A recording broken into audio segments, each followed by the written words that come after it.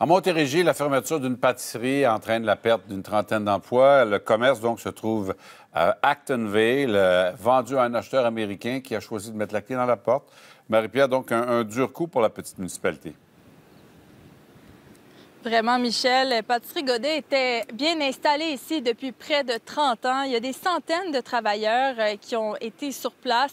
Euh, ça a été même l'un des plus gros producteurs de tartelettes au pays. Euh, fut un temps, ils ont eu pour clients notamment Costco et Walmart. Alors, selon le maire, on parle de la fin d'une époque alors qu'on apprend la fermeture de cette usine.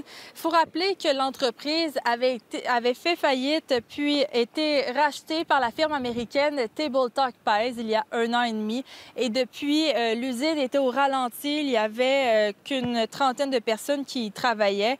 Et on a appris il y a quelques jours, Michel, que le nouveau propriétaire a licencié ses employés, a vendu l'endroit à une autre firme américaine qui, elle, a décidé de fermer l'usine d'Actonville. Le maire ici ne croit pas qu'il y ait de suite aux opérations. C'est la fin d'une époque. Euh, c'est quand même une entreprise qui date euh, de 40, 50, 60 ans qui existait. Avant, c'était Beau Séjour. Euh, ça a été par la suite Godet, après ça, Table Talk. Fait que ça fait longtemps que ça existe.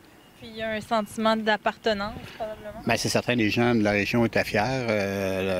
de travailler dans le temps, c'était pour Beau Séjour, après ça pour Godet. C'était tous des gens de la région.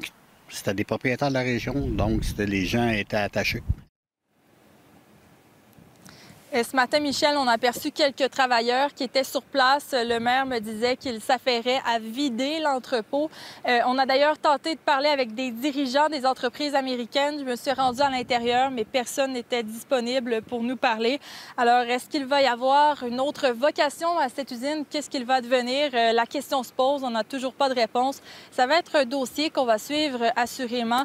On ira d'ailleurs euh, cet après-midi à la rencontre de citoyens pour comprendre vraiment l'attachement qu'ils avaient envers euh, l'ancienne usine de pâtisserie Godet. Merci beaucoup, Marie-Pierre.